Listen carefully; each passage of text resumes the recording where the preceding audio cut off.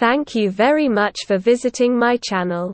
If not difficult, like and subscribe to my channel to always be aware of events.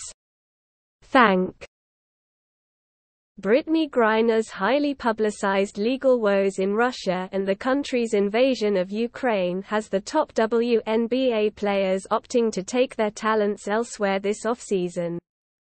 Lured by high salaries often in excess of $1 million, WNBA players have spent decades playing in Russia during the off-season to subsidize their income. That all has come to an abrupt end. Honestly my time in Russia has been wonderful. But especially with BG still wrongfully detained there, nobody's going to go there until she's home, said Breanna Stewart. A Griner teammate on the Russian team that paid the duo millions. I think that, you know, now, people want to go overseas and if the money is not much different, they want to be in a better place. Griner was arrested in February, then detained and later convicted on drug possession charges amid Russia's invasion of Ukraine. Griner was sentenced last month to nine years in prison. Now, Stewart and other WNBA All-Stars, including Jonquel Jones and Courtney Vandersloot, who also have made millions of dollars playing in Russia, are going elsewhere this winter. All three played for Ekaterinburg, the same Russian team as Griner.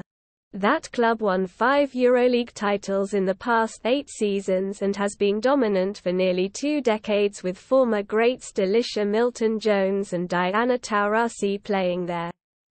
Chicago Sky guard Courtney Vandersloot drives to the basket as Connecticut Sun guard Natisha Hiedeman, right, defends during Game 4 of a WNBA basketball playoff semifinal Tuesday, September 6, 2022.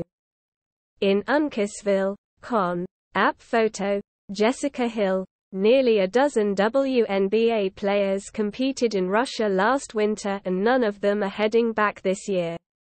After the World Cup tournament, Stewart is going to Turkey to play for Fenerbahce. Top players can make a few hundred thousand dollars playing in Turkey, much less than their Russian salaries. Playing in Turkey also allows Stewart to be closer to her wife's family in Spain. You want to have a better lifestyle, a better off-the-court experience and just continue to appreciate other countries, Stewart said.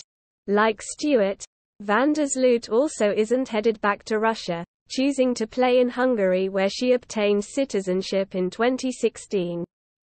I am Hungarian. I thought it would be special since I haven't played there since I got the citizenship, Vandersloot said.